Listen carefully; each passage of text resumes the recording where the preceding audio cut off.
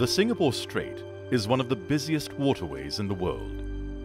Together with the Strait of Malacca, it is a maritime corridor of over 400 nautical miles in length. An estimated one-third of the world's traded goods pass through these waters annually. A figure which is expected to increase as the region's economies continue to grow. At its narrowest point, there are just three nautical miles between the shores of Singapore and Indonesia, while the navigable channel is reduced to less than two nautical miles. Safe Passage in the Singapore Strait is a set of two videos and an interactive training module. Together, they offer valuable information for experienced bridge teams, even if they have transited the strait before, and useful advice for those visiting for the first time.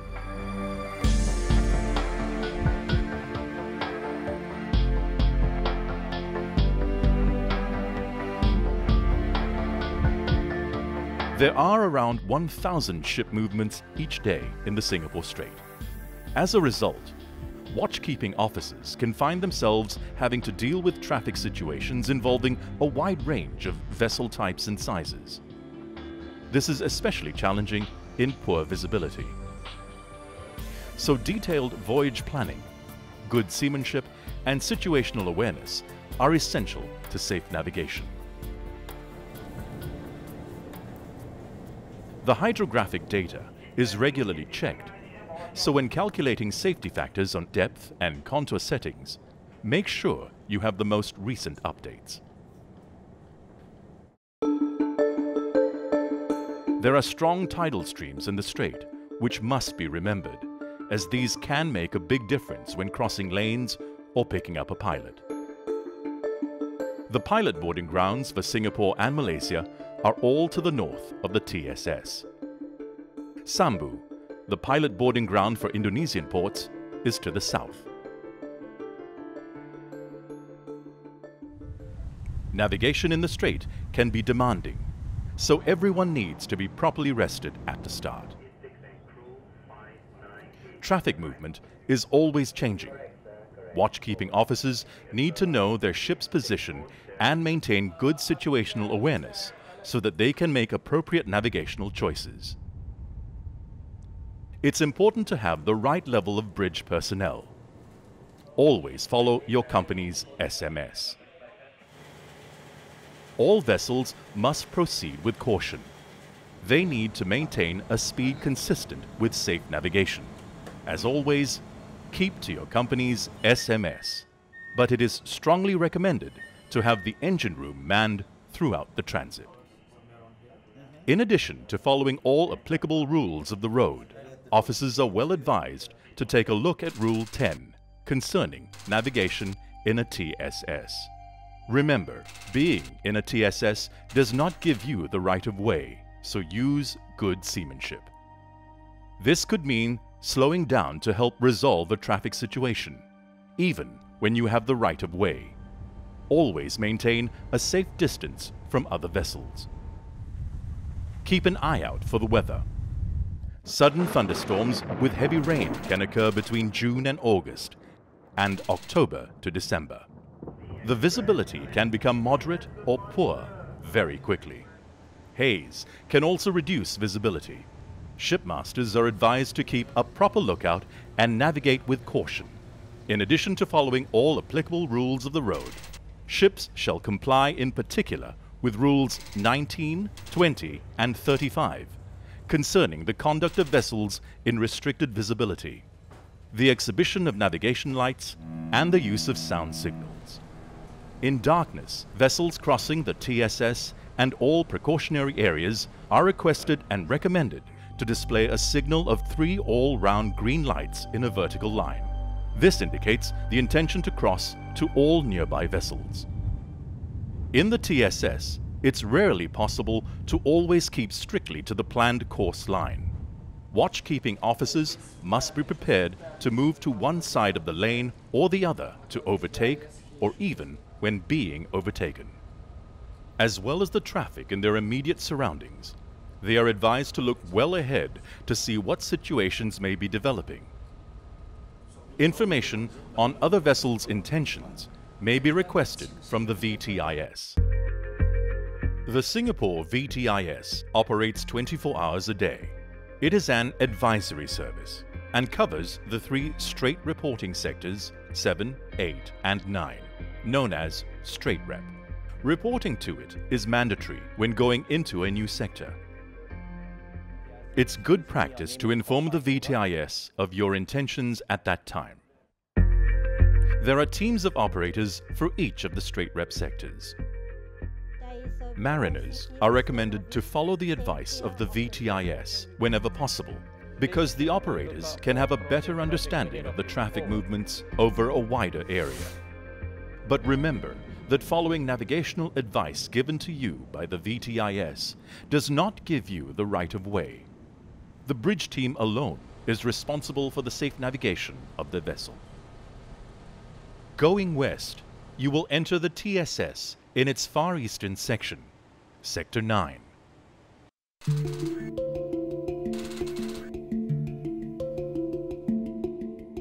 You may notice dense traffic approaching the outer limits of the TSS. It comes from north, south, and east, so you must exercise caution. As you pass the Horsburgh Light, it's mandatory to report in to VTIS on VHF Channel 10. If you are transiting, you will be asked for information, including your destination and whether you are carrying any dangerous goods.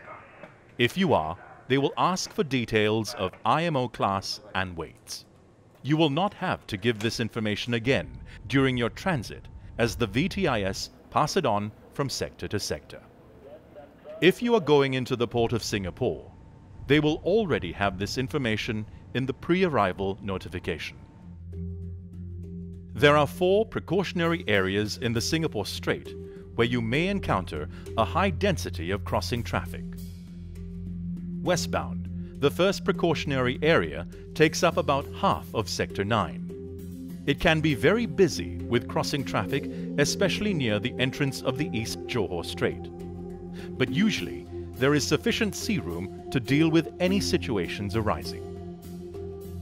There may be many tugs and tows, but mostly in daylight hours, starting at around 6.30. You will see fast ferries crossing throughout the strait.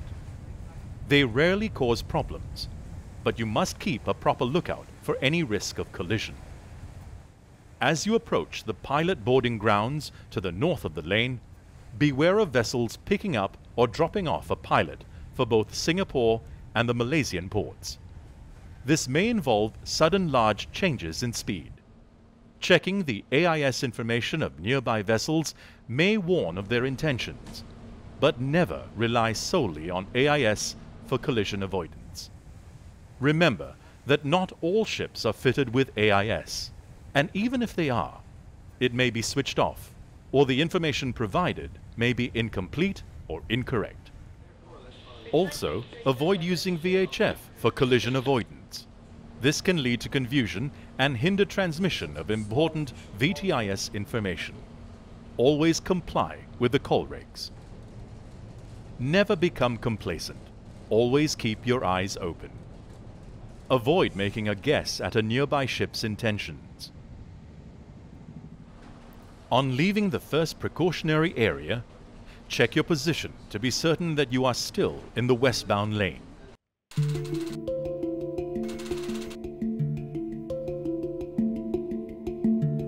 When entering Sector 8, reporting is mandatory to the VTIS on VHF Channel 14. Sector 8 is the narrowest in the strait. It is probably the most demanding area for watchkeeping officers. To the north are anchorages used for bunkering and picking up stores. There are five pilot boarding grounds to the north of Sector 8. Be aware that eastbound vessels will start crossing to reach them. If you are going into the port of Singapore, make sure your own pilot boarding ground is in your AIS as your destination. The movement of Singapore pilots is managed from a central control room where everything possible is done to ensure that pilots get to their booked ETA on time. It is a separate organization from the VTIS. A tracking system means that delays are very rare, but with over 500 pilot assignments per day, delays do sometimes happen. You must contact the pilot service two hours before your ETA to confirm the booking on VHF Channel 20. You can expect to find vessels waiting near the boarding grounds, especially around the eastern boarding grounds Charlie and Bravo. Vessels are advised to calculate and adjust their speeds in the hours before arrival to avoid having to wait near a boarding ground and cause congestion. When approaching the boarding grounds, it is strongly recommended that they should do so at a safe speed, following all applicable rules of the road. In particular, the separation distance and factors listed in Rule 6, such as the state of visibility, available sea room, and traffic density, among others. Only one vessel will be scheduled to arrive at Bravo and Charlie at any one time, and the next vessel will be scheduled at an interval of not less than 15 minutes later. Vessels arriving too early may have to wait, maintaining a minimum separation distance of one nautical mile from the vessel ahead. Information on vessels proceeding to these boarding grounds will be provided by the VTIS. Westbound vessels should approach their boarding ground on the starboard side of the channel. Some of the boarding grounds are close to anchorages, so approach these at a safe speed, keeping a safe distance from the vessels in the anchorage. Allow enough time and sea room when picking up a pilot. On larger vessels, it may take 10 minutes for the pilot to board, reach the bridge, and finish the master pilot exchange. So ensure that there is sufficient time for that to be completed safely.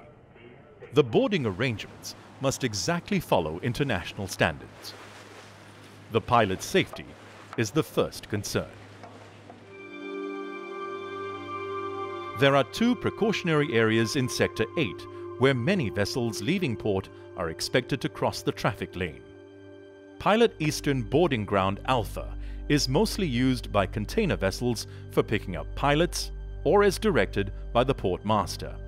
Further west is the Pilot Southern Boarding Ground, used by passenger ships or as directed by the port master.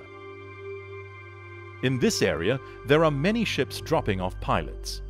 In particular, container ships from terminals such as Pasir As they have the right of way, they come straight into the TSS, heading for the eastbound or westbound traffic lane. At night, these vessels may be obscured by the background lights of Singapore. Pay attention to the VHF to hear VTIS traffic information about nearby vessels.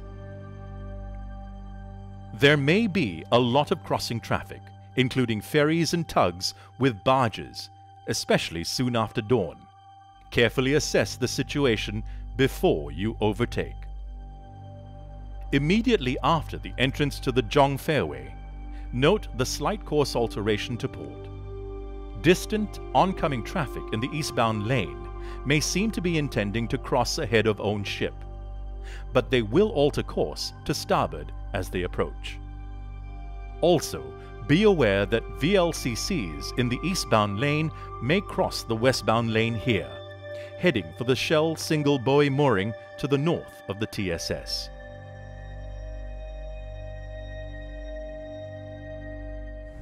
Fishing boats can be found throughout the strait, especially soon after dawn.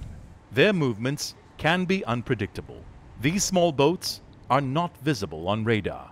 They may not be displaying the correct lights and shapes.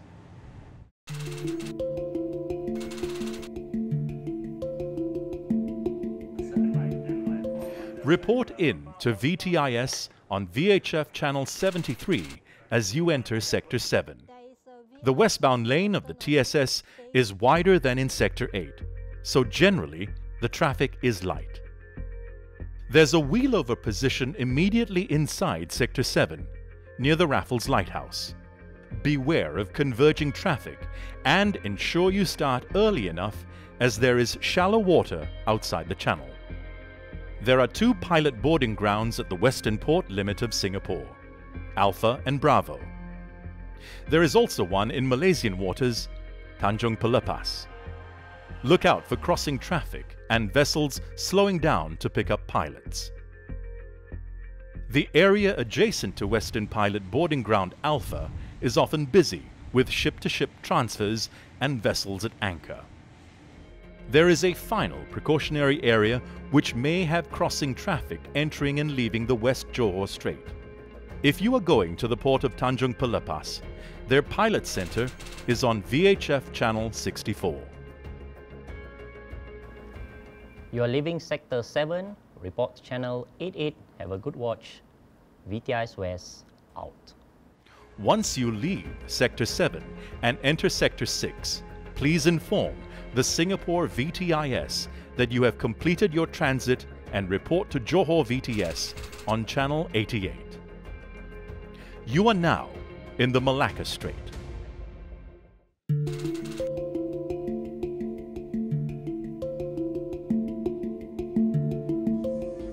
Detailed voyage planning, good seamanship, and situational awareness are essential to safe navigation in the strait.